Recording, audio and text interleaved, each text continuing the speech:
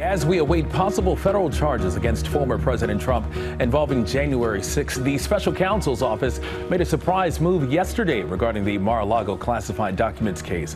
They issued a 60 page superseding indictment, which brought additional charges against the former president and his aide, Walt Nauta, and a second Trump employee, Carlos de Oliveira, was also charged. Now, Trump and Nauta pleaded not guilty to the previous charges. Joining us now is ABC uh, Chief Justice Correspondent Pierre Thomas and ABC Executive Editorial Producer John Santucci. Welcome to Good both to of see you. you guys. Good to be with you. So many people talking about this. Pierre, let me start with you. So, three additional charges in the documents case. Help break that down. How is that different and what is significant about it? Well, first, the, he's charged with retaining yet another classified document, and it's the one that we've heard so much about.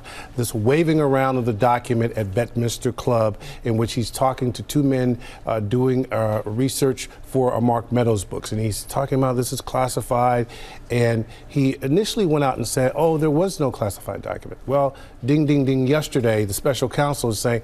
We believe we have located this document. The document deals with Iran in terms of a potential plan to attack Iran. So that was another added charge. The two charges that are getting a lot of attention, in addition, are charges that relate to obstruction of justice. And basically, what the special counsel is alleging is that Donald Trump is at the center of a cover up.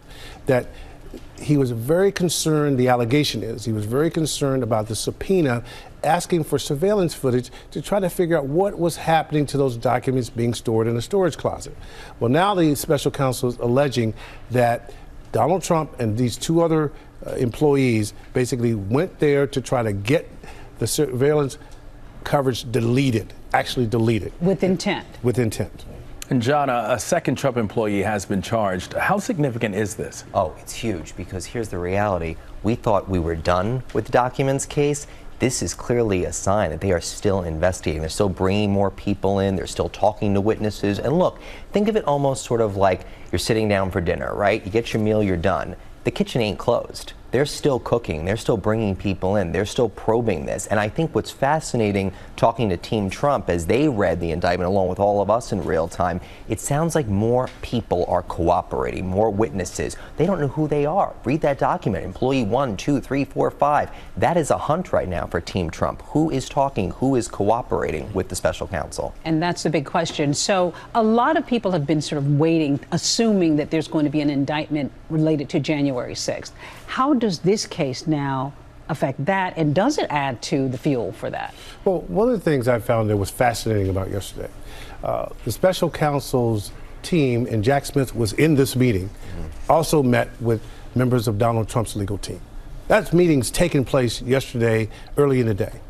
Jack Smith sitting in that meeting, knowing that he's going to indict Trump yet again mm. and never shows his hand whatsoever, which is fascinating. But I think in terms of timing, we're all waiting to see if there will be additional charges in connection to January 6th. Here's the thing. We know last time, after the same kind of meeting, Trump was indicted within four days, so we could be right on the cusp of additional charges. And John, uh, can I just ask your guess today? A Couple oh, days? I think I never predict indictments, but, I, but I, I, will say this: I think that final decisions about that will be made in the coming days, not weeks. Yeah. All right. And John, uh, the Trump campaign released a statement attacking both the special counsel and President Biden, saying yeah. that the charges aim to harass, rather, uh, Trump and his allies. Yeah. Uh, what are you hearing about how the president is feeling about this growing list of charges? Uh, well, livid was the word that we were all hearing. I mean, we were talking, Pierre and I were talking in real time. They were prepared for January 6th. This was a curveball that smacked them at the golf course yesterday because they were armed and ready, thinking this was the case. But then to hear superseding more charges. Wait, there's another employee now getting charged? They were all caught off guard. And my understanding is that in Bedminster at the President's Club yesterday, huddled, trying to calm him down, trying to walk him through this. Because as Donald Trump has said, what is happening here? I think the pressure that is mounting on him, his family, his friends, right? Another employee now, too. It is just driving the president absolutely mad. So the timeline, as you said, probably days and not weeks. It's anybody's guess mm. when exactly. this could actually come exactly. down. But one thing is clear: this is probably the most aggressive prosecutor I've seen in more than two decades of covering the Justice Department. Mm. He all is right. really all over yeah, this case. Most yeah. certainly, Pierre and John. Thank you very much. We appreciate it. Thank you. Hey there, GMA fans. Robin Roberts here. Thanks for checking out our YouTube channel. Lots of great stuff here. So go on, click the subscribe button right over right over here to get more of awesome videos and content from GMA every day, anytime. We thank you for watching, and we'll see you in the morning on GMA.